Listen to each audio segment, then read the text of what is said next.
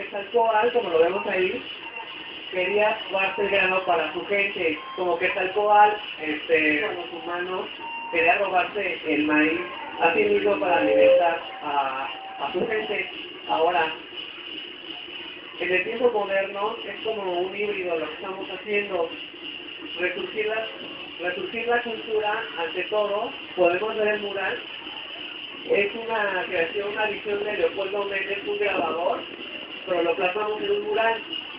Ahí es cuando las, las pirámides resurgen.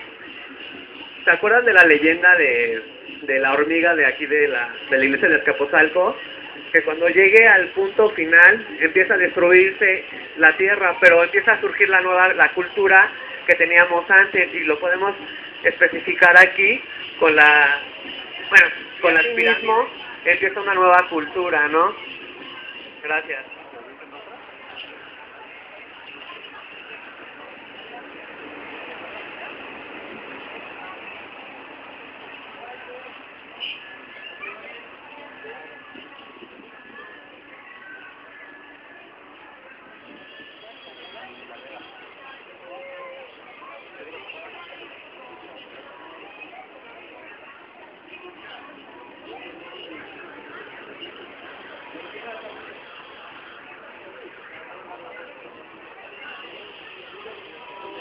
Bienvenidos a esta ofrenda de acción juvenil de Escapozalco para ustedes.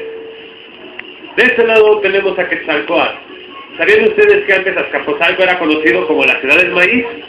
Bueno, Quetzalcoatl creó al hombre. Y en la preocupación que tenía porque el hombre moría de hambre, tuvo que venir a Azcapotzalco disfrazado de hormiga para llevarles de comer el maíz tan preciado. De este lado, en el mural, cuenta la leyenda que cuando la hormiga llega hasta la cima, el mundo tal cual como lo conocemos ahora será destruido para dar paso a la civilización prehispánica que dará un, una nueva visión a nuestro mundo.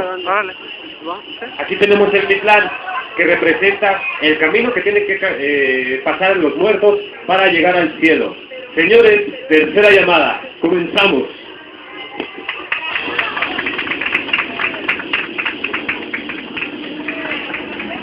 Cielo. Señores, tercera llamada, comenzamos.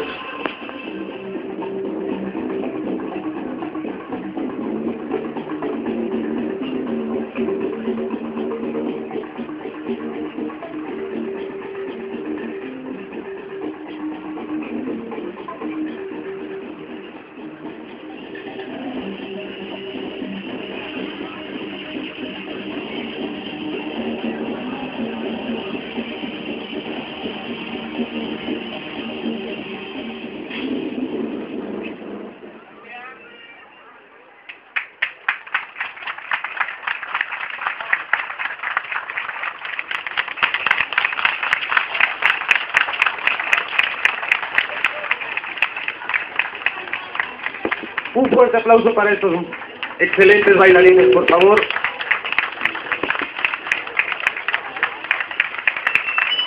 ¡Oh!